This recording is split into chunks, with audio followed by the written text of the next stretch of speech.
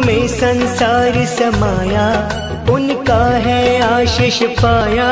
प्रभु ने खुद से भी ऊँचा, गुरु का है स्थान बताया। ये गुरुवर तो ज्ञान के सागर है, इनसे